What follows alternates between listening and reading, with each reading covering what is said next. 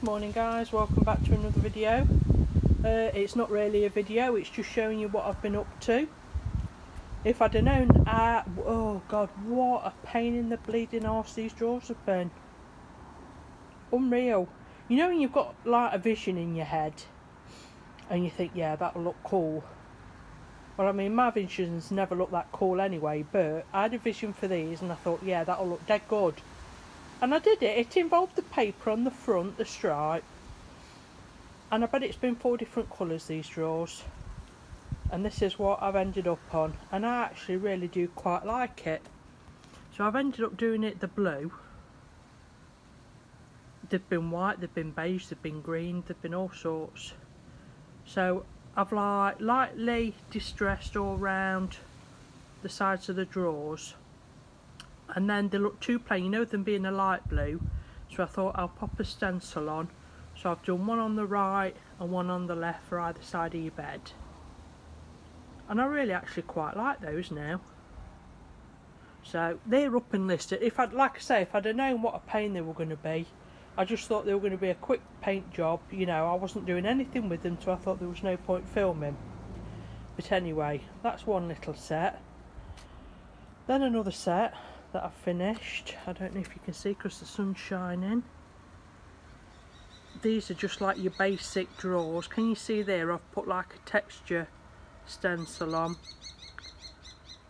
And I don't know if my eyes are worse than what I think but I couldn't see these lines when I'd done it. You know where I've like slightly overlapped it. So I'd painted it and everything and it wasn't till it's, I put them out here in the sun to take photos for listing them that I saw it. So I think I might need to get my eyes checked again because I'm really peeved off with that. Because if I'd have seen it, I could have sanded it. I did sand them, but obviously I could have sanded those in more detail. So that's annoyed me, but you know what? I don't get enough money for this. for all the stress I put myself through. So they've been listed and that's that. So hopefully they'll sell but they're just another little pair. One's in the shade oh no it's me in the shade not the sun. So that's just those two which I did. So they're those. And then I don't know if you're going to see in here I wonder if it'll change the lighting as we go into the dark. Oh it has lightened it up a bit. I've also done this one as well so this was like a just a little bedside.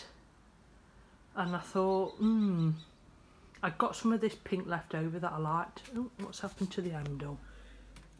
So I thought, I'll do that. And then it looked a bit plain. So I popped a couple of the Prima rose moulds on. And just lightly golded. Went over them with the gold. And then just popped a bit of paper in the drawer. Just for a bit of extra girly. And that's that. Yeah, that bleeding thing ain't sold. And neither is that one. What a mess that is. I'll end up setting fire to that, but anyway. Uh, so yeah, I just thought I'd show you what I'd been up to. Um, I've got a video on the go, so I just thought I'd best do a quick one so you don't think I've gone AWOL again. Alright guys, don't forget to please like, subscribe and comment below. I have noticed on the YouTube rhythm thing that uh, still 60% of you haven't subscribed that watch my videos. So, you know, if you can, it really does make a big difference to me. And I'd greatly appreciate it. But anyway, until the next one, take care. Bye.